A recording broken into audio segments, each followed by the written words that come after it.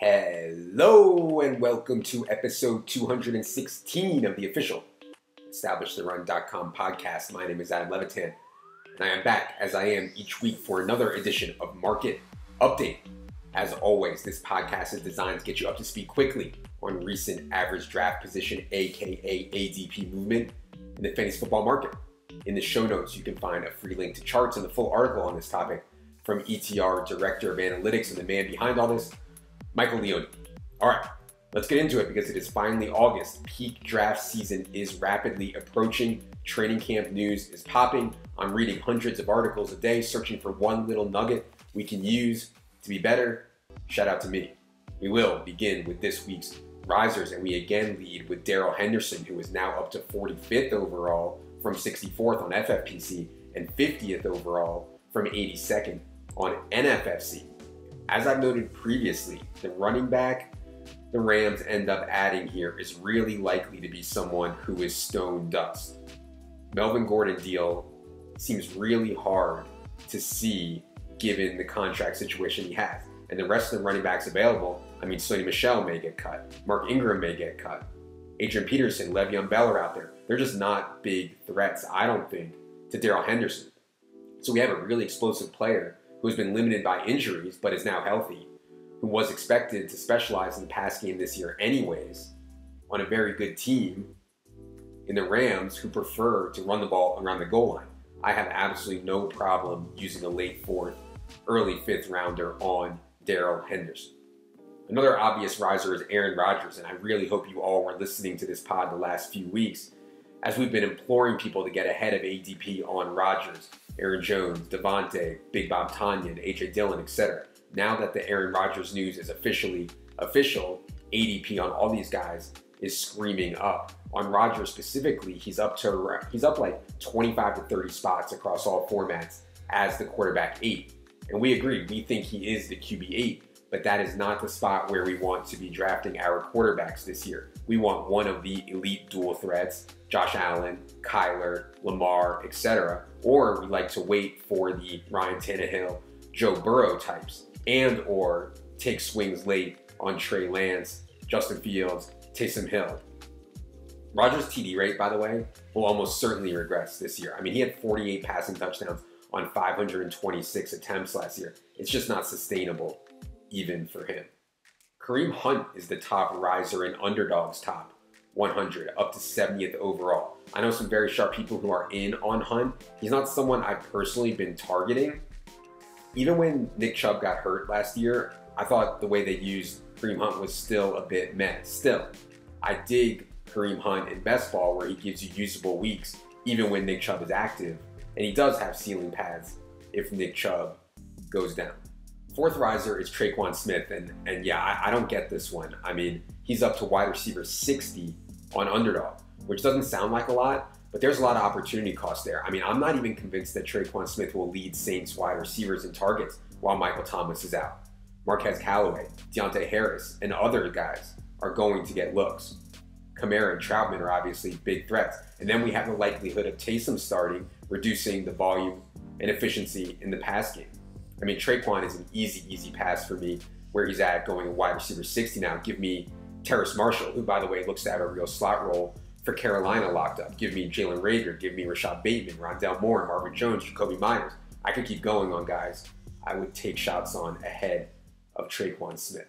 Let's get to this week's fallers. Biggest faller on underdog inside the top 100 was Tee Higgins. And man, this one is tough. You know, I talked about it with Harmon on the last podcast. I love Tee Higgins. I love the Bengals offense.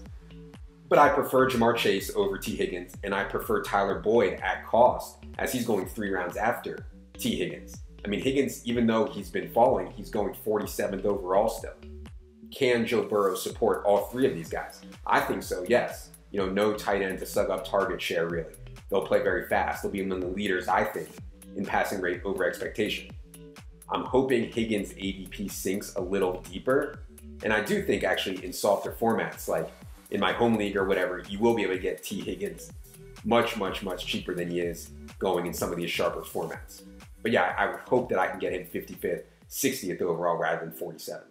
Another surprising faller is Dyami Brown, biggest faller on underdog outside the top 100. I think this is likely due to some camp buzz on Adam Humphries, which is warranted in my opinion. I mean, Adam Humphries and Ryan Fitzpatrick know each other from Tampa. Adam Humphries consistently earns playing time. Even if we don't like him, coaches like him, quarterbacks like him. So I get it to some degree. But still, plenty of upside on Dyami at an ADP of 170 or so. He makes the flyer list for me. One that doesn't make any sense, one follower that doesn't make any sense is Taysom Hill. He's down to undrafted on NFFC. And you know, if you're drafting, I, I wasn't going to bring this up, but if you're drafting this time of year, just generally speaking, using a roster spot on Trey Lance or Justin Fields or Taysom just makes so much sense. It's all profit, no downside, particularly in managed leagues where we can drop them if needed. Like these three quarterbacks are going to smash their ADPs if slash when they start due to their rushing ability. We'll have a lot more information. There's just so much smoke around Trey Lance right now. Maybe even being able to start week one. Taysom, I think, is likely to start or at least a coin flip. Justin Fields is going to make up ground quickly on Andy Dalton. So if you're in deeper formats, if you're in QB, QB formats, if you're in managed leagues where you wait on quarterback, there's just a lot of merit in this. I would not let Taysom Hill go undrafted. What I'm watching now is two things. First of all, the Carson Wentz injury and how it's going to affect Colts ADPs. It's going to tank, I think, the ADP, of, uh, particularly of Michael Pittman and Nyheim Hines. And I think Jonathan Taylor is going to take a hit as well. We'll discuss all this with Silva tomorrow, but for now, I'd be looking to take chances on Michael Pittman one to two rounds past his Wentz ADP. And given that Carson Wentz is expected back in five to 12 weeks, I think Jonathan Taylor is still a round two guy solid, maybe fringe round one. But note that he's a bit game script dependent. Still think Nyheim Hines will be in there for hurry up and lots of pass down stuff. So Jacob Eason is not good for Colts' chances of leading games. But we'll talk more about all this tomorrow with Silva. Second thing I'm watching is training camp reports, and I hope you're following me on Twitter, just my name, Adam Levitan, all one word. I think I tweet out, or at least I try to tweet out what I think is notable from camp. There's a ton of stuff I read that is just fluff and BS and doesn't matter. I try to ignore that. Basically, what we bake into our rankings is what we think matters. We read and digest everything. We save you time by implementing what matters from camp. You know, that's what we're here for. But yeah, there's going to be a lot of ADP movement based on training camp hype. We're here to tell you what matters and what doesn't for sure.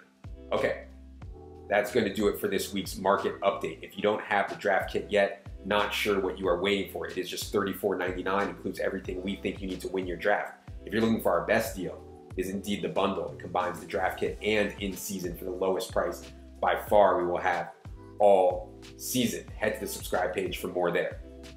I'll be back tomorrow with Silva for training camp news reactions and top 150 changes. We'll be back with Silva Wednesday for our fades of the year. For, oh, and big one, Thursday, we'll be with Thorn for offensive line rankings. His rankings will be in the draft kit at the end of the week. So, for Jerry, for Leone behind the scenes, I am Adam. Good luck, everybody.